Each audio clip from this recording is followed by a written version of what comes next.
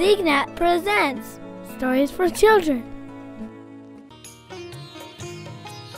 ਇੱਕ ਵਾਰ ਇੱਕ ਪਰਿਵਾਰਿਕ ਆਦਮੀ ਜੋ ਕਿ ਸਿੱਖ ਸੀ, ਸਤਵੇਂ ਗੁਰੂ ਗੁਰੂ ਹਰਿਰਾਏ ਜੀ ਦੇ ਦਰਸ਼ਨਾਂ ਲਈ ਆਇਆ। ਉਹ ਹੱਥੀਂ ਕਿਰਤ ਕਰਦਾ ਸੀ ਅਤੇ ਆਪਣੇ ਪਰਿਵਾਰ ਦਾ ਪਾਲਣ ਪੋਸ਼ਣ ਕਰਦਾ ਸੀ।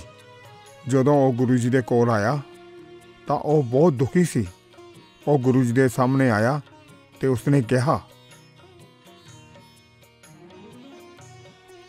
ਇਹ ਸੱਚੇ ਪਾਤਸ਼ਾਹ, ਮੈਂ ਕਈ ਸਾਲਾਂ ਤੋਂ ਸਭ ਕੁਝ ਛੱਡ ਕੇ ਤੁਹਾਡੀ ਸੇਵਾ ਵਿੱਚ ਆਉਣ ਲਈ ਤਰਸ ਰਿਹਾ ਹਾਂ।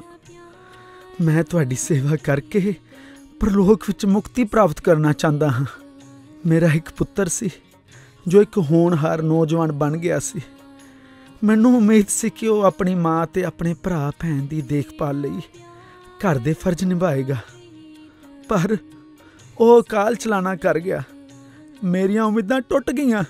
ਮੈਂ ਗਵਾਚ ਗਿਆ ਹਾਂ ਅਤੇ ਮੈਨੂੰ ਪਤਾ ਨਹੀਂ ਕਿ ਕੀ ਕਰਨਾ ਹੈ। ਮੈਂ ਹਮੇਸ਼ਾ ਪਰੇਸ਼ਾਨ ਰਹਿੰਦਾ ਹਾਂ। ਮੈਂ ਕੀ ਕਰ ਸਕਦਾ ਹਾਂ? ਫਿਰ ਗੁਰੂ ਜੀ ਨੇ ਉਹਨੂੰ ਪੁੱਛਿਆ ਕਿ ਉਸਦੇ ਪਰਿਵਾਰ 'ਚ ਕਿੰਨੇ ਮੈਂਬਰ ਹਨ? ਉਹ ਰੋਜੀ ਰੋਟੀ ਕਮਾਉਣ ਲਈ ਕੀ ਕਰਦਾ ਹੈ? ਇਹ ਸੱਚੇ ਪਾਤਸ਼ਾਹ ਮੇਰੇ ਦੋ ਛੋਟੇ ਪੁੱਤਰ ਤੇ ਇੱਕ ਧੀ ਹੈ ਅਤੇ ਮੇਰੀ ਪਤਨੀ ਉਹਨਾਂ ਦੀ ਮਾਂ।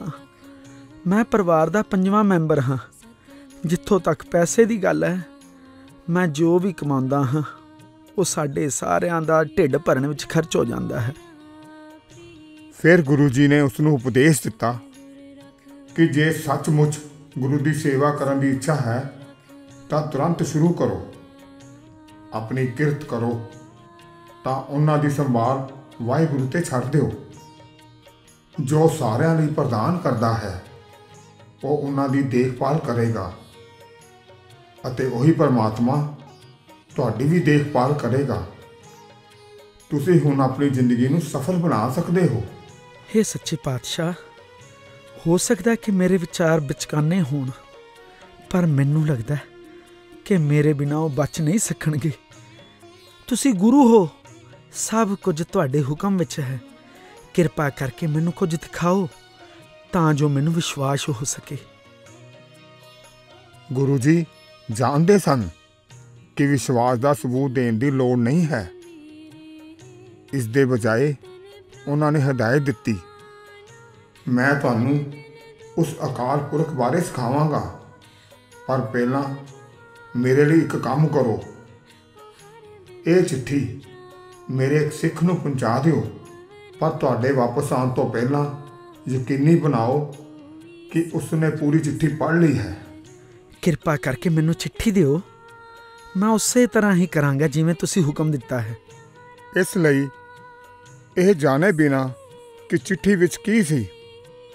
ਉਸਨੇ ਉਹ ਚਿੱਠੀ ਉਸ ਸਿੱਖ ਨੂੰ ਦਿੱਤੀ ਜਿਸ ਬਾਰੇ ਉਸ ਨੂੰ ਹਦਾਇਤ ਕੀਤੀ ਗਈ ਸੀ।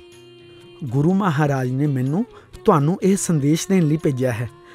ਗੁਰੂ ਜੀ ਮੈਨੂੰ ਇੱਕ ਪਾਠ ਸਿਖਾਉਣਗੇ। ਪਰ ਪਹਿਲਾਂ ਮੈਂ ਇਹ ਵੇਖਣਾ ਹੈ ਕਿ ਤੁਸੀਂ ਇਹ ਚਿੱਠੀ ਪੜ੍ਹੀ ਹੈ। ਕਿਰਪਾ ਕਰਕੇ ਹੁਣ ਇਸ ਨੂੰ ਪੂਰੀ ਤਰ੍ਹਾਂ ਪੜੋ ਤਾਂ ਜੋ ਮੈਂ ਗੁਰੂ ਕੋਲ ਵਾਪਸ ਜਾ ਸਕਾਂ। ਗੁਰੂ ਤੋਂ ਇਹ ਸੰਦੇਸ਼ ਪ੍ਰਾਪਤ ਕਰਕੇ ਮੈਂ ਬਹੁਤ ਮਾਣ ਮਹਿਸੂਸ ਕਰਦਾ ਹਾਂ। ਜਿਹੜਾ ਆਦਮੀ ਤੁਹਾਡੇ ਕੋਲ ਇਹ ਚਿੱਠੀ ਲਿਆਇਆ ਹੈ ਉਸ ਨੂੰ ਫੜ ਲਓ। ਉਸ ਨੂੰ 6 ਮਹੀਨੇ ਨਾ ਜਾਣ ਦਿਓ। ਇਸ ਤੋਂ ਬਾਅਦ ਉਸ ਨੂੰ ਰਿਹਾ ਕਰ ਦਿੱਤਾ ਜਾਵੇ।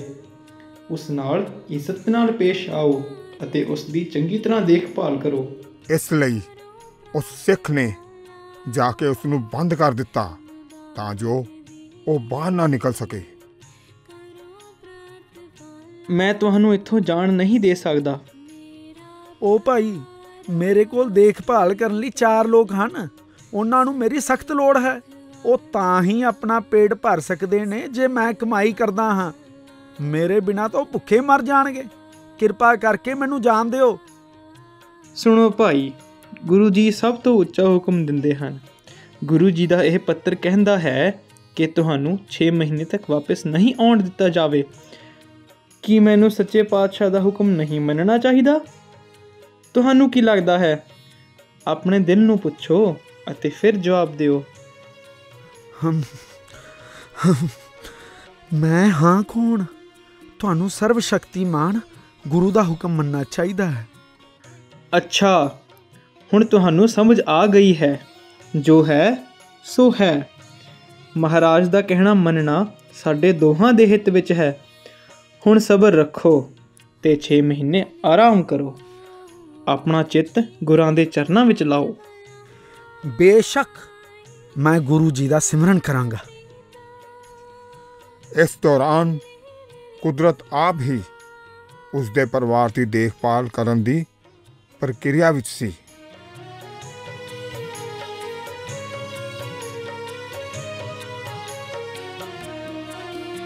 ਉਸ ਰਾਤ ਉਹਨਾਂ ਨੂੰ ਖਾਣ ਲਈ ਕੁਝ ਨਹੀਂ ਮਿਲਿਆ ਅਤੇ ਉਹਨਾਂ ਦੇ ਗੁਆਂਢੀਆਂ ਨੇ ਪੁੱਛਿਆ ਤੁਸੀਂ ਅੱਜ ਰਾਤ ਦਾ ਖਾਣਾ ਕਿਉਂ ਨਹੀਂ ਬਣਾਇਆ?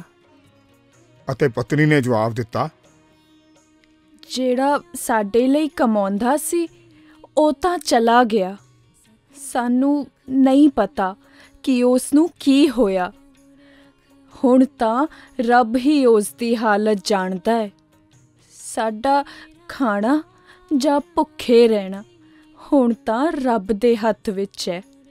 ਜੇ ਦੇਣ ਵਾਲਾ ਦੇਵੇ ਤਾਂ ਅਸੀਂ ਪਕਾਵਾਂਗੇ ਅਤੇ ਖਾਵਾਂਗੇ। ਨਹੀਂ ਤਾਂ ਅਸੀਂ ਵੀ ਕੀ ਕਰ ਸਕਦੇ ਹਾਂ ਗੁਆਂਢੀਆਂ ਨੇ ਸੋਚਿਆ ਕਿ ਇਹ ਠੀਕ ਨਹੀਂ ਸੀ ਕਿ ਉਹਨਾਂ ਕੋਲ ਭੋਜਨ ਨਹੀਂ ਸੀ। ਤੁਸੀਂ ਜ਼ਿਆਦਾ ਦੇਰ ਭੁੱਖੇ ਨਹੀਂ ਰਹੋਗੇ। ਅਸੀਂ ਤੁਹਾਡੀ ਮਦਦ ਕਰਾਂਗੇ। ਅਸੀਂ ਕੁਝ ਪ੍ਰਬੰਧ ਕਰਦੇ ਹਾਂ ਅਤੇ ਸ਼ੁਰੂਆਤ ਲਈ ਹਰ ਪਰਿਵਾਰ ਉਹਨਾਂ ਲਈ ਆਟੇ ਦਾ ਇੱਕ ਥੈਲਾ ਲਿਆਇਆ।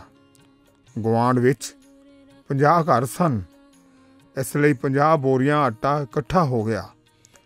ਇਸ ਤੋਂ ਲੰਬੇ ਸਮੇਂ ਵਾਸਤੇ ਰੋਟੀਆਂ ਬਣਾਉਣ ਲਈ ਕਾਫੀ ਆਟਾ ਜਮ੍ਹਾਂ ਹੋ ਗਿਆ। ਫਿਰ ਇਲਾਕੇ ਦੇ ਲੋਕਾਂ ਨੇ ਉਹਨਾਂ ਨੂੰ ਨੌਕਰੀਆਂ ਦਿੱਤੀਆਂ। ਦੋਵੇਂ ਪੁੱਤਰ ਮਾਹਰ ਕਾਰੀਗਰਾਂ ਦੇ ਸਹਾਇਕ ਬਣ ਗਏ। ਉਹ ਆਪਣਾ ਪੈਸਾ ਕਮਾਉਣ ਲੱਗ ਪਏ। ਇੱਕ ਔਰਤ ਨੇ ਧੀ ਅਤੇ ਉਸ ਦੀ ਮਾਂ ਨੂੰ ਸਿਲਾਈ ਕਢਾਈ ਦੇ ਪਾਠ ਦੇਣੇ ਸ਼ੁਰੂ ਕਰ ਦਿੱਤੇ। ਜਦੋਂ ਉਹ ਸਿੱਖ ਗਏ, ਉਹ ਵੀ ਕਮਾਈ ਕਰਨ ਲੱਗ ਗਏ। ਹੁਣ ਭੋਜਨ ਦੀ ਕੋਈ ਸਮੱਸਿਆ ਨਹੀਂ ਸੀ। ਉਹ ਰੋਜੀ ਰੋਟੀ ਕਮਾਉਣ ਲੱਗ ਪਏ। ਇਸ ਤਰ੍ਹਾਂ ਪੂਰੇ 6 ਮਹੀਨੇ ਬੀਤ ਗਏ। ਵਾਪਸ ਕੋਠੀ ਤੇ ਗੁਰਸਿੱਖ ਨੇ ਕਿਹਾ, ਸਮਾਂ ਖਤਮ ਹੋ ਗਿਆ ਹੈ। ਤੁਸੀਂ ਹੁਣ ਜਾ ਸਕਦੇ ਹੋ। ਗੁਰੂ ਦਾ ਹੱਥ ਸਦਾ ਤੁਹਾਡੇ ਸਿਰ ਤੇ ਬਣਿਆ ਰਹੇ। ਮੈਂ ਆਜ਼ਾਦ ਹਾਂ। ਮੈਂ ਜਾ ਸਕਦਾ ਹਾਂ। ਮੈਂ ਹੁਣ ਆਪਣੇ ਪਰਿਵਾਰ ਨੂੰ ਦੇਖਣਾ ਚਾਹੁੰਦਾ ਹਾਂ। ਉਹ ਤੁਰੰਤ ਉਹਨਾਂ ਨੂੰ ਦੇਖਣ ਲਈ ਦੌੜਿਆ। ਉਹ ਬਹੁਤ ਚਿੰਤਤ ਸੀ ਕਿ ਕਿਤੇ ਉਹ ਜ਼ਿੰਦਾ ਵੀ ਹਨ ਜਾਂ ਨਹੀਂ। ਜਦੋਂ ਉਸਨੇ ਉਹਨਾਂ ਨੂੰ ਦੇਖਿਆ ਤਾਂ ਉਸ ਦਾ ਦਿਲ ਉਸ ਦਾ ਦਿਲ ਬਾਗ-ਬਾਗ ਹੋ ਗਿਆ। ਮੇਰੇ ਪਿਆਰੇ ਤੁਸੀਂ ਠੀਕ ਹੋ? ਮੈਂ ਤੁਹਾਡੇ ਬਾਰੇ ਬਹੁਤ ਚਿੰਤਤ ਸੀ। ਰੱਬ ਦਾ ਧੰਨਵਾਦ ਤੁਸੀਂ ਠੀਕ ਹੋ? ਉਹ ਸਿਰਫ ਜ਼ਿੰਦਾ ਹੀ ਨਹੀਂ ਸਨ ਸਿਹਤਮੰਦ ਵੀ ਸਨ। ਅਸਲ ਵਿੱਚ ਉਹ ਪਹਿਲਾਂ ਨਾਲੋਂ ਵੀ ਜ਼ਿਆਦਾ ਤੰਦਰੁਸਤ ਲੱਗਦੇ ਸਨ। ਉਸ ਦੀ ਪਤਨੀ ਨੇ ਕਿਹਾ ਜਦੋਂ ਤੁਸੀਂ ਗਵਾਚ ਗਏ ਸੀ ਸਾਰੇ ਗਵਾਂਡੀਆਂ ਨੇ ਸਾਨੂੰ ਭੋਜਨ ਪ੍ਰਦਾਨ ਕਰਨ ਲਈ ਯੋਗਦਾਨ ਪਾਇਆ। ਫਿਰ ਉਹਨਾਂ ਨੇ ਸਾਨੂੰ ਸਿਖਲਾਈ ਦਿੱਤੀ ਤਾਂ ਜੋ ਅਸੀਂ ਕੰਮ ਕਰ ਸਕੀਏ। ਸਾਡੇ ਸਾਰਿਆਂ ਦੀ ਕਮਾਈ ਨਾਲ ਹੁਣ ਅਸੀਂ ਬਹੁਤ ਸਫਲ ਹਾਂ। ਸਾਡੇ ਕੋਲ ਪਹਿਲਾਂ ਨਾਲੋਂ ਕਿਤੇ ਵੱਧ ਹੈ। ਤੁਹਾਡੇ ਲਈ ਚਿੰਤਾ ਕਰਨ ਵਾਲੀ ਕੋਈ ਗੱਲ ਨਹੀਂ ਸੀ। ਪਤਨੀ ਦੀ ਇਹ ਗੱਲ ਸੁਣ ਕੇ ਉਹ ਬਹੁਤ ਖੁਸ਼ ਹੋਇਆ। ਉਸ ਨੂੰ ਗੁਰੂ ਜੀ ਦੀ ਖੇਡ ਸਮਝ ਆ ਗਈ। ਉਸ ਨੇ ਸਮਝ ਲਿਆ ਕਿ ਗੁਰੂ ਜੀ ਨੇ ਸਾਰਾ ਪ੍ਰਬੰਧ ਇਸ ਲਈ ਕੀਤਾ ਸੀ ਤਾਂ ਜੋ ਉਸ ਨੂੰ ਵਿਸ਼ਵਾਸ ਹੋਵੇ। ਉਸ ਨੂੰ ਹੁਣ ਵਿਸ਼ਵਾਸ ਹੋਇਆ ਕਿ ਰੱਬ ਹੀ ਉਸ ਨੂੰ ਪ੍ਰਦਾਨ ਕਰਦਾ ਹੈ। ਉਹ ਗੁਰੂ ਜੀ ਦੀ ਖੁਸ਼ੀ ਅਤੇ ਸ਼ੁਕਰਗੁਜ਼ਾਰੀ ਨਾਲ ਦੁਬਾਰਾ ਮਿਲਣ ਗਿਆ। ਹੇ ਸੱਚੇ ਪਾਤਸ਼ਾਹ, ਤੁਸੀਂ ਮੈਨੂੰ ਨਰਕ ਵਿੱਚੋਂ ਕੱਢ ਕੇ ਮੇਰੀਆਂ ਅੱਖਾਂ ਸਾਹਮਣੇ ਅਸਲੀਅਤ ਲਿਆ ਦਿੱਤੀ ਹੈ। ਮੈਂ ਆਪਣੀ ਸਾਰੀ ਉਮਰ ਆਪਣੇ ਪਰਿਵਾਰ ਲਈ ਭੋਜਨ ਦੀ ਚਿੰਤਾ ਵਿੱਚ ਗੁਜ਼ਾਰ ਦਿੱਤੀ ਹੁੰਦੀ। ਇਸ ਦੀ ਬਜਾਏ ਤੁਸੀਂ ਮੇਰੀ ਜ਼ਿੰਦਗੀ ਨੂੰ ਬਰਬਾਦ ਹੋਣ ਤੋਂ ਬਚਾ ਲਿਆ ਹੈ। ਮੈਂ ਅਸਲ ਵਿੱਚ ਉਹਨਾਂ ਦੀ ਸਫਲਤਾ ਵਿੱਚ ਇੱਕ ਰੁਕਾਵਟ ਸੀ ਅਤੇ ਜਦੋਂ ਮੈਂ ਦੂਰ ਸੀ ਤਾਂ ਹਰ ਚੀਜ਼ ਦੀ ਬਹੁਤਾਤ ਸੀ। ਹੁਣ ਮੈਂ ਉਹੀ ਕਰਾਂਗਾ ਜਿਵੇਂ ਤੁਸੀਂ ਮੈਨੂੰ ਸਿਖਾਉਂਦੇ ਹੋ। ਤੁਹਾਡੀ ਰਹਿਮਤ ਸਦਕਾ ਮੈਨੂੰ ਸੱਚੀ ਸਮਝ ਤੇ ਆਨੰਦ ਪ੍ਰਾਪਤ ਹੋਇਆ ਹੈ। ਸਾਰੀ ਜ਼ਿੰਦਗੀ ਪਰਿਵਾਰ ਦੀ ਚਿੰਤਾ ਵਿੱਚ ਬਤੀਤ ਕਰ ਦਿੰਦੇ ਹਨ। ਉਹ ਆਪਣੀ ਜ਼ਿੰਦਗੀ ਦਾ ਅਸਲੀ ਮਕਸਦ ਭੁੱਲ ਜਾਂਦੇ ਹਨ ਅਤੇ ਰਾਹ ਤੋਂ ਭਟਕ ਜਾਂਦੇ ਹਨ। ਲੋੜ ਹੈ ਕਿ ਹੁਣ ਅਸੀਂ ਗੁਰੂ ਦੀ ਸਿੱਖਿਆਵਾਂ ਨੂੰ ਪੜ੍ਹੀਏ ਅਤੇ ਆਪਣੀ ਜ਼ਿੰਦਗੀ ਵਿੱਚ ਅਮਲ ਕਰੀਏ। ਸੇਵਾ ਅਤੇ ਸਿਮਰਨ ਕਰਨ ਨਾਲ ਹੀ ਅਸੀਂ ਇਸ ਸੰਸਾਰ ਸਮੁੰਦਰ ਤੋਂ ਤਰ ਸਕਦੇ ਹਾਂ। ਹੁਣ ਤੋਂ ਹੀ ਆਪਣਾ ਧਿਆਨ ਗੁਰੂ ਵੱਲ ਲਾਈਏ ਅਤੇ ਆਪਣਾ ਜੀਵਨ ਸਫਲ ਬਣਾਈਏ। ਗੁਰੂ ਜੀ ਦੀ ਉਸਤਤ ਕਰਨ ਨਾਲ ਨਾ ਸਿਰਫ ਅਸੀਂ ਅਪਾਰ ਆਨੰਦ ਪ੍ਰਾਪਤ ਕਰਾਂਗੇ, ਪਰ ਜ਼ਿੰਦਗੀ ਵਿੱਚ ਵੀ ਬਰਕਤਾਂ ਪ੍ਰਾਪਤ ਕਰਾਂਗੇ।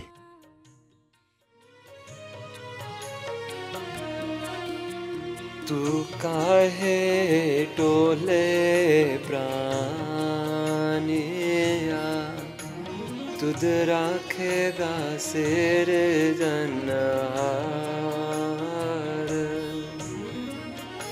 तुद राखेगा दुद्राखेगा जना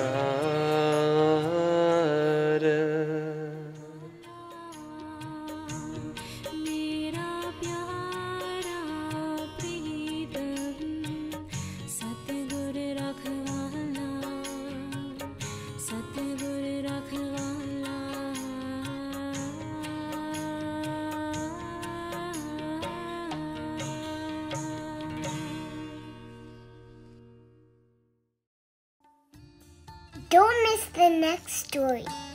Press subscribe.